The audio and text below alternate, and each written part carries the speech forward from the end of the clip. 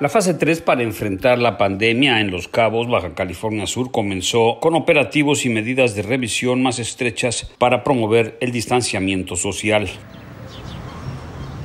Tanto en la, en la zona urbana como en la zona rural, en la zona de playas y auxiliando al personal de, de inspección fiscal, de protección civil y sobre todo de la, de la Dirección de Salud la mayor parte de los ciudadanos han acatado las recomendaciones, pero aún hay algunos que no creen en el virus.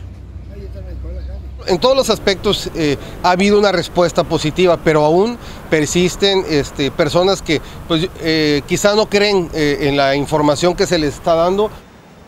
Por su parte, Protección Civil mantiene vigilancia en playas donde ya han invitado a las personas a retirarse a sus hogares fueron cerca de 180 personas que tuvimos que, sacar de las playas en todo lo que es el litoral del municipio. También se han implementado recomendaciones para cierre de empresas con actividades no esenciales ya que se iniciarán las sanciones.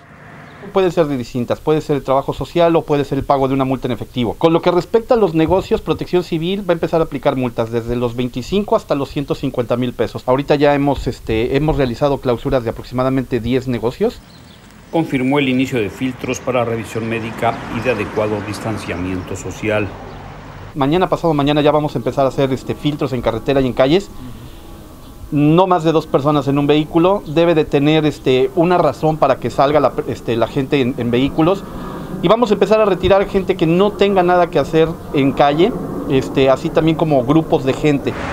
En Baja California Sur el número de casos positivos asciende a 222 a la fecha, con 12 defunciones y 12 recuperados. En Los Cabos los contagiados suman 148 con 4 defunciones. De los casos positivos, 14 están hospitalizados, de los cuales 5 se consideran graves y 5 críticos.